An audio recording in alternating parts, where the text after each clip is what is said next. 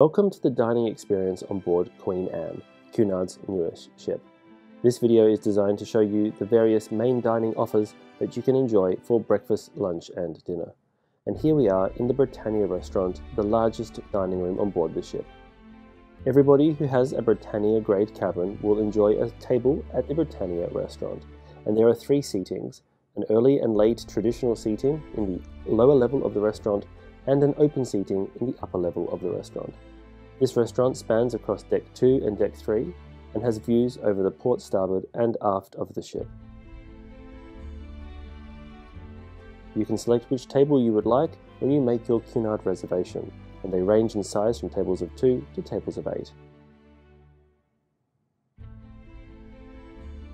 If you have Britannia Club accommodation, you'll be welcomed to the Britannia Club restaurant. On board Queen Anne, the Britannia Club restaurant is the largest of the Britannia clubs on the four Cunard Queens. This space is located on deck 3 near the Grand Lobby. And the Britannia Club is an open seating arrangement.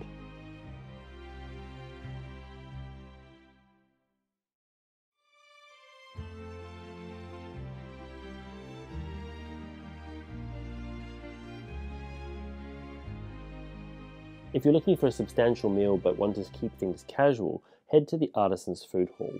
This is the alfresco restaurant on board Queen Anne, and unlike the other Cunard ships, it's not a traditional buffet, but rather is a food hall style eatery where there are various different cuisines offered from individual serving stations.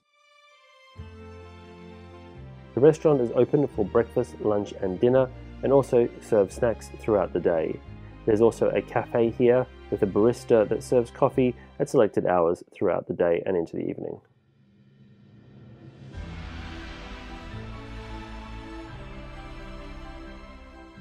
Queen Anne also introduces a number of alternative dining venues that are new to the Cunard fleet, and these come with a supplementary cost.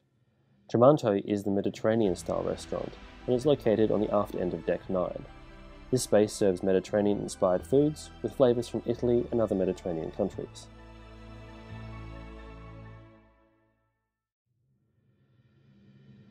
Aranya is the Indian inspired restaurant, another one of the alternative dining options, and is also located on Deck 9 aft. It has a menu developed by Indian chef Jolly and serves Indian inspired food throughout the evening. The interior of the space is also decorated in an Indian theme. Aji Wa is the Japanese-inspired supplementary dining option and it's located on Deck 10 aft with views over the Panorama Pool Club. Here you can have a number of choices. You can either sit at the sushi bar and enjoy sushi from a sushi train, or you can book a table for lunch or dinner and have a more comprehensive meal served to you at the table. Sir Samuel's is Queen Anne's steakhouse and it replaces the veranda steakhouse that's found on the other Cunard Queens.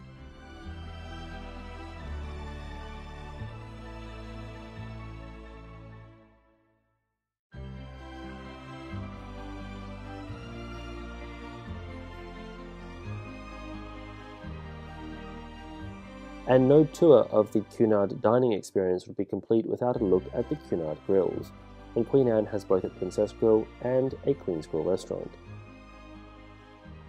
The Princess Grill is located deck 10 midships and is accessed through the Grill's Lounge.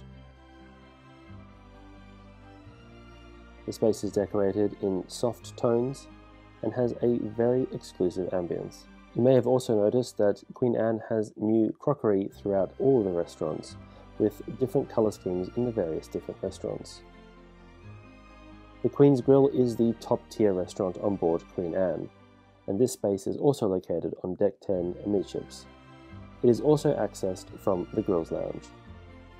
The Queen's Grill is accessible only to Queen's Grill passengers, just like the Princess Grill is accessible to Princess Grill passengers.